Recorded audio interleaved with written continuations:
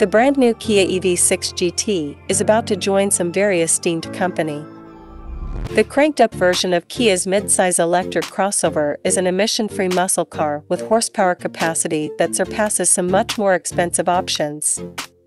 With its two motors producing a combined 577 horsepower, this family hauler should reach 60 miles per hour in the low threes.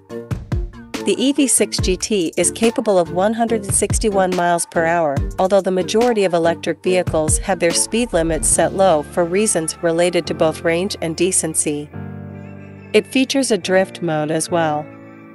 The GT, which is expected to weigh a reported 4,780 pounds and ride on Hyundai Extremely Kia's sophisticated EGMP platform, promises to be incredibly trim by the chubby standards of its sector.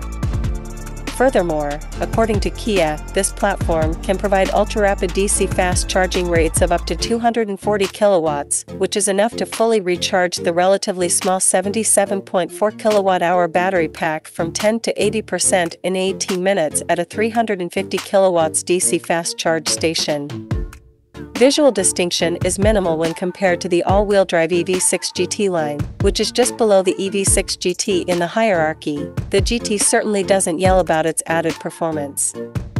A liftgate spoiler is included, 21-inch wheels are standard, needed to fit around larger brake discs, and the front and rear bumpers have been discreetly modified. The GT has new performance touchscreen displays inside, semi-bucket sports seats upholstered in microfiber, and a GT button on the steering wheel that allows access to the new dynamic mode, which joins the standard Eco, Normal, and Sport settings. More major changes occur mechanically.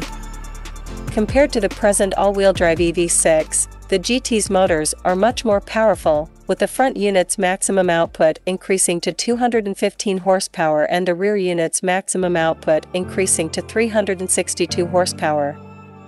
The back motor adds still another cutting-edge EV component, a two-stage inverter that employs silicon carbide semiconductors, together with a torque biasing differential that modifies the amount of thrust given to each wheel. This decreases heat produced when the motor is working harder and increases efficiency by up to 3%. Similar to other high-performance EVs, Eco restricts the system's peak power at 288 horsepower, while Normal and Sport raise that to 460. Only in GT mode are all 577 horses released.